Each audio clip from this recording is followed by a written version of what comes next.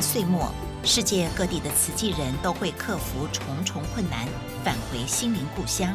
是什么因缘或人生际遇，让他们与慈济结缘呢？欢迎收看经典的 TV。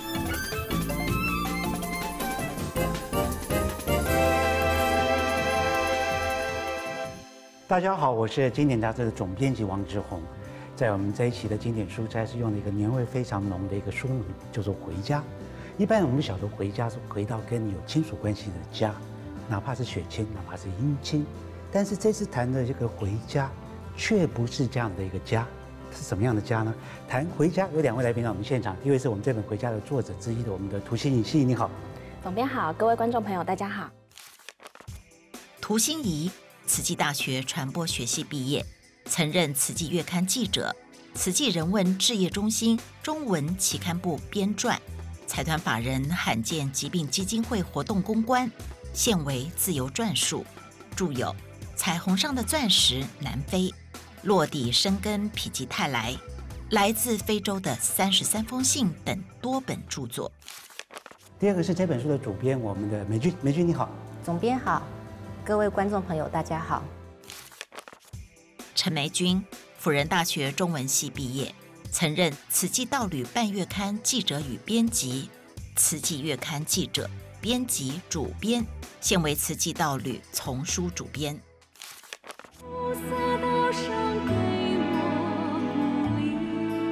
忙碌了一整年，短暂放下工作，回家过年是在外游子的心头大事。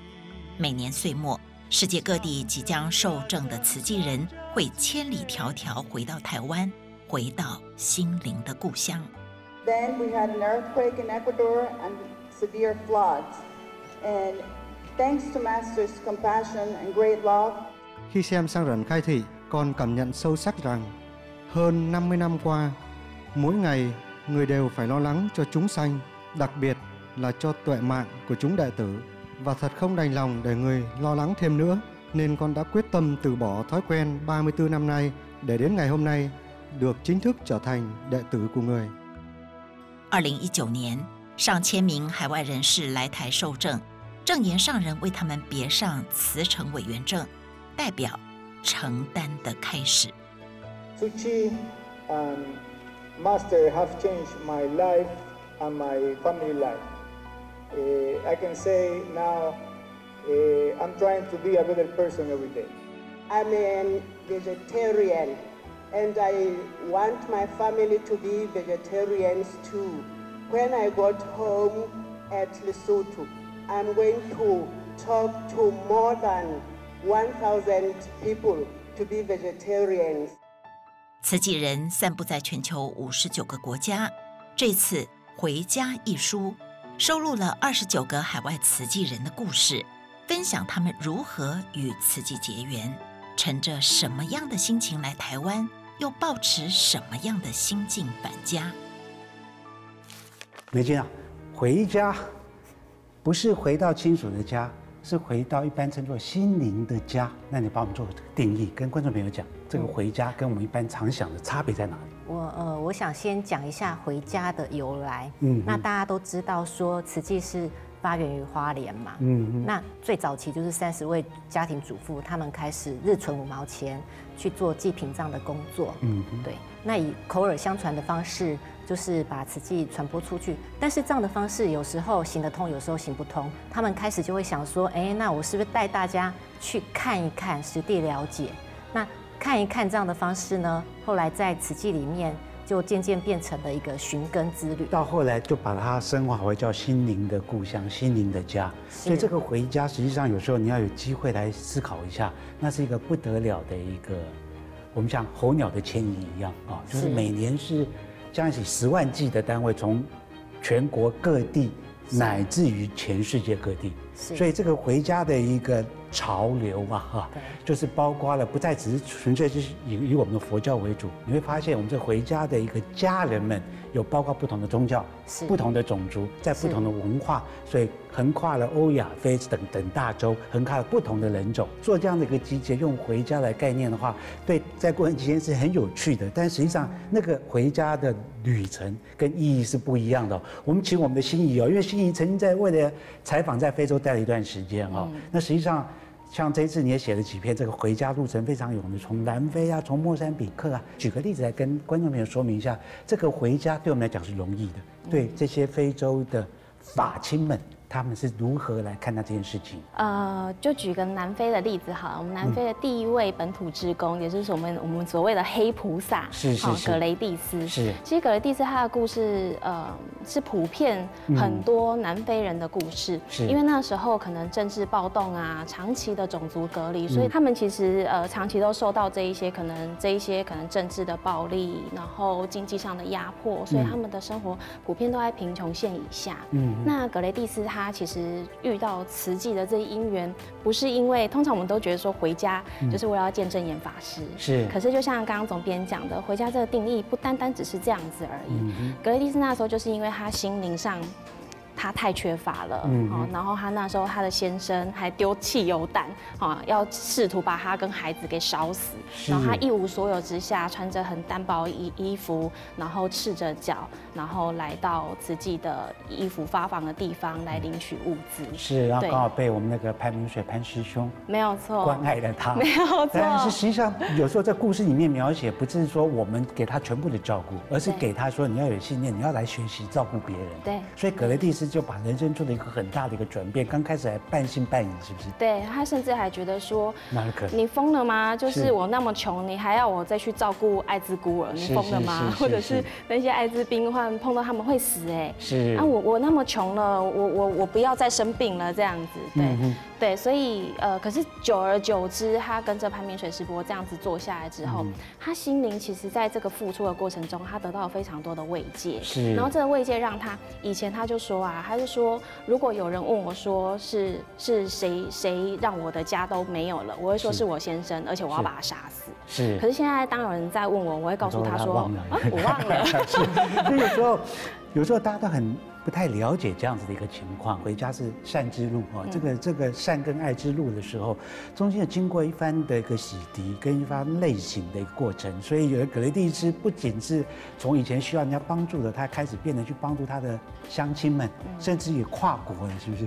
跨国去扶助其他国家的人，对，没有错。而且他其实，在跨国过程中很有趣。他看，他说他看到他以前的自己，他那时候去史瓦济兰，然后他就看到一个老人家，头发留得很长，然后都是纠结乱发这样，然后非常肮脏恶臭。他就拉了当地职工说：“哎，我们去帮他洗澡吧。”结果当地职工纷纷退了好好几步这样，然后就说：“哦，不用不用，我们站在这边帮他祈祷就好了。”然后格雷蒂斯会笑说：“他觉得他好像看到当初的自己，因为他当初也是站在门口，然后看着潘明水师伯，明水师伯去帮那个艾滋病患者来做晋升的工作，是不是？是是啊，所以实际上是这个是葛德蒂斯是一个很特别的例子。现在是非洲有更多的例子。我们先回到一个莫莫桑比克的一个带领哈，嗯，他是一个台湾嫁到。莫桑比克的，他的故事又另外一种是实际如何生根的很重要的故事，是不是？是，他其实是为爱而嫁，就是因为爱情，所以结婚到了莫桑比克。可是他其实他先生算是莫桑比克比较呃呃算是白领阶级的人物这样，所以他就说他住在一个非常。非常好的地区，可是只是街角而已哦，转个弯，转个身，他看到的是杂乱的铁皮屋，然后生活困苦的人们就在他身边。是，但是他可以喝一瓶几十万的红酒，但那一些人一天可能连一块钱的收入都非常的挣扎。是，对，然后在在在这当下。他就很积极的想要去寻找一些所谓他心灵上的解答，是。呃呃生活上的出口，是。对，然后这个时候他就知道说，哎，南非有有有慈济人，然后那些人所做的事情，正是在帮助这一些他想要他想要去接触的人，是，所以戴琳师姐她其实是寻寻觅觅。谁也不认识，一个慈济人也不认识，然后就这样找上了南非慈济人，然后请南非慈济人来到莫桑比克，带着他一起深入这一些品相。结果他就创了一个第一个在莫桑比克的一个会所，开始有他当地的职工开始接引了。嗯，所以在前一阵子的那个水患也扮演非常重要的角色。嗯嗯，没有错。他其实因为戴琳师姐她自己也有讲了，如果当初没有这样子的一个接触，今天其实爱不会深入到那么多的一个地方。嗯，心怡，实际上你本身也是从慈济大学毕业的，也在月刊服务的慈济月刊服务了一段时间，也去采访过很多慈济的国际援助，也在非洲住过一段时间。但是这一次的指派，你要碰到很多你都才第一次见面的一个，等于讲我们的 so called 的师兄姐们，是，那结起他们人生的经验，结起他们对慈济的经验，对你这样子来讲的话，你的收获在哪里啊？慈济人不是只有一种人，是他们接触瓷器的 SOP 也不一样，完全不一样。对，你会发现不像台湾，好像比较单纯，是不是？对我们，我们常都会觉得说，啊，一定是五郎嘎揪哈，他走进来了，好感动，然后就成为慈济人这样。是是，不是的。譬如说我们在新巴威，新巴威有一位第一颗种子 朱金才师伯，对，这位师伯很有趣哦。他其实他已经自己在新巴威行善了好长一段时间，他常常都是。是因为辛巴威后来有受到通货膨胀之苦嘛，是，所以朱金才师伯他那时候就去买了，他可能有空的时候，他就去买很多条吐司面包，是，然后载着他家的师姐跟他们家孩子，然后就出去像旅游一样啊，然后只要看到比较贫困的村落，他就停下来，然后就分送面包这样，是，这样默默的做了好几年。那有一次呢，刚好那时候电视台有接收到大爱台，他看了之后，他就想说，哎呦。啊，这群人做的事情不就跟我一样吗？那我也是慈济。对啊，我也在做发放嘛，我就是我应该也是慈济人，对不对？他自己认证。所以很有趣，他做了整整五年的时间，他才终于回到台湾来，而且还是上人叫他回来的。是。他就觉得说，哇，好了不起哦，一个我没有呃也没有皈依呀，也没有受证的人，但是以慈济人的名义是做了那么多的事情，自掏腰包，从来没有呃要求或者是请求过任何的资源。是。所以上人。请他回来，嘿，请他回来，他还不回来哦。他还说，哇，那我这趟回去的机票钱多多少钱啊？花个一两千块美金，我可以多买多少面包送？是，所以他拖了足足五年的时间才回来。是。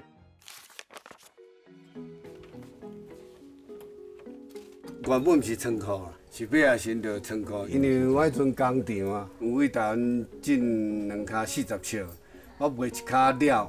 哦，就本钱就起来，啊，另外一卡就无卖啊，就都关了。朱金才以前在南非设成衣工厂，一九九五年搬到新巴威发展，没想到几年后遇到新巴威严重暴动，工厂接二连三被抢，偶然读到“布施转业障”几个字，朱金才开始积极投入行善事业。那时候其实接触到慈济哈。就上人的法以后，我才觉觉得说，我那时候的想法，是一种以做生意的眼光来看，是一种买卖的行为。我我个人后来觉得，因为当初布施，因为别人家都不知道，但是我心里很清楚，我是用一种布施来求心灵的平安。在台中有一名妇人，一个月前不小心被叫到。直到二零零六年，朱金才看到大爱电视台的节目，得知全球慈济职工行善步伐，也开始加入慈济职工助人的行列。如今，朱金才是辛巴威的慈济窗口，也一步步带着当地黑人成为职工，在辛巴威进行发放等慈善工作。Mr. Chu is in my color of skin, right? So, but when Mr. Chu comes eh, and helps my people, why can't I also do that for my people? When who is not my culture, my color comes and help us, then why eh, can't we also join him to help the rest of the people?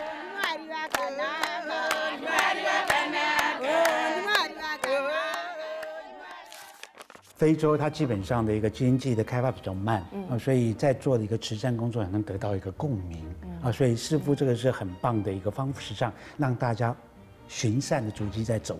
但是以开发国家之间，实际间发展的模式就不一样了，是不是？那个。心怡也写了另外一个一对夫妻的故事。德国的陈树维师姐是对。那其实像刚刚总编有提到说，其实，在欧洲我们不在非洲我们会觉得说，似乎这个行善的脚步是是比较容易的。是是是。那可是，在欧洲我们就觉得说，欧洲资源很多啊。对啊，像德国已经是一个非常开，已经非常好的整个社会福利比我们好太多倍了，对不对？但这也成为是我们当地慈济人一个所谓的困境。是。对，你看越好做的地方，他们其实是越难做的。譬如说陈树。维师姐跟他家师兄，他们家师兄也是德国人嘛。是。然后那个时候呢，他们其实啊，他们最近其实在关关怀那边的所谓的难民这样。是是是。他们其实要去关怀的时候，就遇到一个质疑：你们是谁？是。大家只认识可能红十字会啊，我国界医师啊，那不认识慈济嘛？你们是谁？那我凭什么相信你们？对啊，哈。那。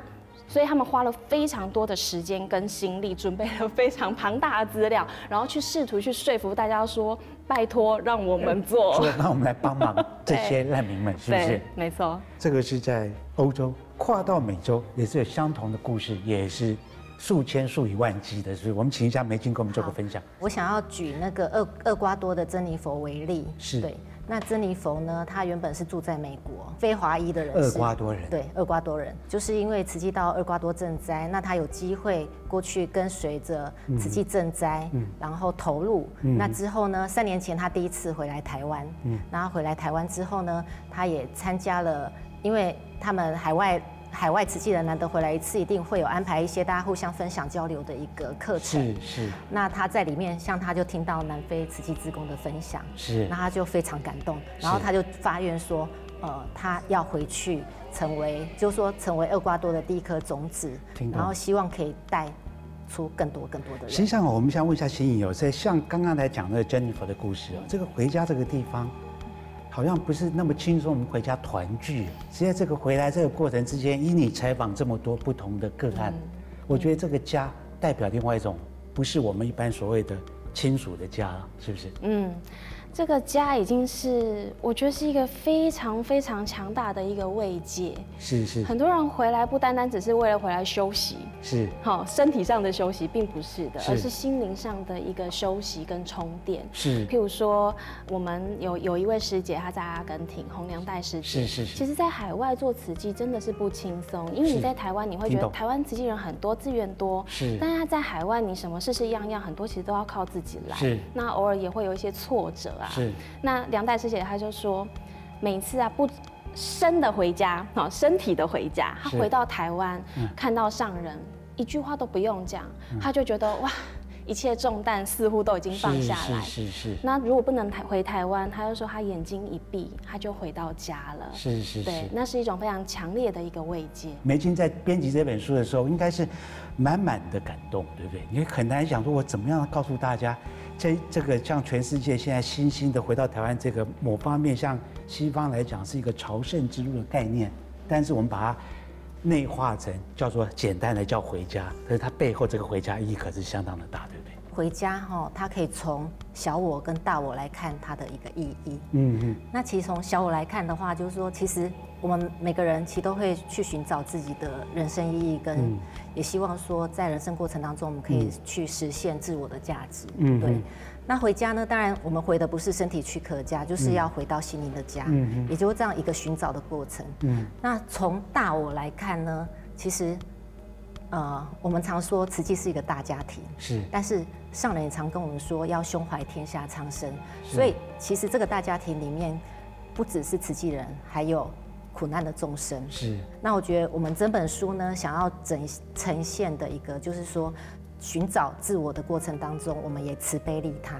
我们回来这个地方，除了见一见大家心爱的上人之外，看看这个环境，看看所有的常住师傅们，看看所有的法亲们，这个法亲就变成很重要的一条线，大家钉在一起。这钉在一起的时候是有一个，有一个什么？有个皈依啊，有个依归，有个依靠，但是也是个力量的一个凝结。是这个力量就变成好多的一个种子，好多的星星散在大宇宙之间，大家为了一个善的力量在做。所以他某方面用这样的想法，你在看到这个每年的这些。从南美洲、从非洲、从欧洲、从任何地方、亚洲回到花莲这个地方来的动作，我觉得就变成台湾现在另外一种很特殊的一个什么善善之徒，是不是？我们讲善徒，心意同意吗？同意是，而且这个回家之路其实并不是那么简单。我们刚刚讲的例子好像是他们随时都可以回来，韦松世博一年回来，因为他们很近，对，二十几趟，对对。但是你知道吗？洪都拉斯的那一些志工啊，因为他们其实，我们我们很多可能海外的一些本土志工，普遍来说他们的经济状况都没有很好。是。好，那洪都拉拉斯那些志工也是一样，他们经济状况也算是呃普遍算是水平之下这样子。听懂。可是他们就好想要回来花莲一趟，他们做了十几年呢，十几年呢。好想说，我一定要回去看看我们所谓的家。是。那那时候呢，你知道他们要回来多不容易，因为他们没有存折，他们没有存款证明。即使有存款证明，其实找到钱了，但是 他们没有美签。对，没有美签，没有签过程都很困难。他们必须要从洪都拉斯转到墨西哥，然后墨西哥你知道转机的时间还不能在大厅走来走去哦，他们要在移民间里面待上一整个晚上，睡就睡在地板上。飞机又飞到日本，在日本又等了一下才能回到台湾，所以这整个旅程可能是横跨了一两天的时间，听懂？很累很疲倦，是，但是他们执意要回来，是 是，这种力量就好像是一个。候鸟飞的方向都好像是天空上有个磁石在吸引着他们回来，所以这样回家的力量跟回家的阵的的那个队伍，真的是一个不可思议的一个因缘所汇集而来的啊！像这种千计万计的这个慈济人回家，每个都很特别的故事。但是你在做这个编辑的过程之间，你是用什么方式来做不同的一个筛选？当然，这个主要是让读者能看的。感受到这样子的一个法喜，是不是？当初我们要编这本书，我们也希望说收集很多各种不同的题材，所以就是尽量找不同国家的慈济人，然后尤其是本土职工。对，在编的过程当中会觉得说，呃，这些本土职工其实他们可能有时候连。他们中文绝对是听不懂，然后是要透过翻翻译的方式去了解瓷器的精神，瓷器在做什么。对，然后可是他们却很认真的在那边吸收。是，对。那像我记得那个海地的丹尼尔，他回来台湾的时候，他跟上人说：“我如果生在台湾的话，我要当你的右手。”可是上人就告诉他说：“你回去海地做我的一双手。”是。看这样的书的过程，实际上也是大家不管有意无意间啊，不管是不管是主动或被动之间，一旦认识了整个行善之路的时候，就变成一个趋势，就变成大家内心的一个冲动。那在行善的过程之间，多少就想回到家里来，受到这个大家庭的一个庇护，彼此互相的取暖，彼此互相的壮大啊。所以有时候是回家，每年都真的不可思议，这样千计万计啊。多坐了多少的飞机啊？坐了多少的车车车子？然后这样子费尽千辛万苦回到这个地方来。我想某方面这个回家好像很简单，但是它谱的是一个我们当代由慈济人所写下来的很特别、很特别一篇，一篇篇是世界间的一个爱与善的一个故事啊。所以我要谢谢那个心仪，也谢谢我们的那个梅君啊，写采访或编这个回家这本书。这是一个很特别、很特别的殊荣，也是我们当这个文史工作者来讲很重要的一件事情。再次谢谢大家，也欢迎大家同一时间去收看我们的经典大 TV。